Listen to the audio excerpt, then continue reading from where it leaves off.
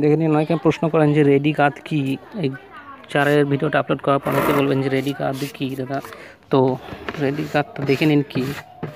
Ready গাদটা আর কিছুই না, একটা গাদটা মিষ্টির দোকান থেকে এনে যেমন গাদ আমি নিতে বলেছিলাম, ঠিক তেমন গাদ মিষ্টির দোকান থেকে এনে সেটাকে বেসন ফাটার মতো যেভাবে তেলে ভাজার দোকানে বেসন ফাটে, ঠিক সেভাবে বেসন ফেটে সেটাকে আট থেকে দশ দিন কি পনেরো দিন, কুড়ি দিন রোদে ফেলে রাখুন। দেখবেন ওপরে তেল চলে আসবে, মাঝখানে গাদ চলে আসবে, নিচে একদম শিরাগুলো চলে যাবে।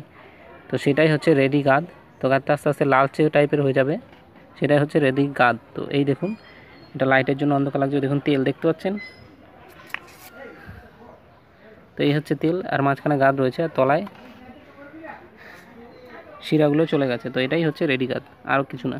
দেখে নিন কীভাবে মিষ্টি গাদগুলোকে ফাটবেন, যেটা বলেছি, বেসনের মতো ফাটতে। তো কীভাবে ফাটবেন? প্রথমে মিষ্টি দোকান থেকে আনার পর, অর্থাৎ দোকান থেকে বলতে কারখানায় যেখানে মিষ্টি তৈরি হয় সেখান থেকে আনার পর সে গাদের মধ্যে যা নোংরা থাকবে সেগুলো বেছে ফেলে দেওয়ার পর এটাকে একটা বড় গামলা বা কিছুতে নিয়ে কীভাবে আমি করছি, অর্থাৎ কীভাবে ফাটাচ্ছি, ঠিক সেইভাবে ফাটাবেন, তারপর রোদে ফেলে রাখবেন পনেরো কুড়ি দিন। তো গাদটা নেওয়ার সময় খেয়াল করবেন, যেখানে দেখবেন যে গাদ শক্ত হয়ে যেই পাত্রের মধ্যে রাখা আছে, যেখানে শক্ত হয়ে জমে গেছে গাদগুলো ওপরে ঘি ঘি ভাসছে, সাদা ঘি বা তেলের মতো ভাসছে, সেখান থেকে নেবেন। ঠিক দেখুন, খেয়াল করে, ঠিক এইভাবে যত ফাটবেন, তত ওই জিনিসটা তত সুন্দর এবং তত ভালো রেডি হবে। তারপরে আপনি চার বা টোপের জন্য ব্যবহার করতে পারবেন।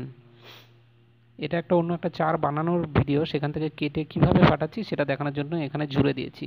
তো সবাই ভালো থাকবেন, সুস্থ থাকবেন মাছ ধরবেন, আনন্দ করবেন। অনেকেই প্রশ্ন করেন, তার জন্য এই ভিডিওটা দিয়ে দিলাম। আমাকেও সঙ্গে রাখবেন।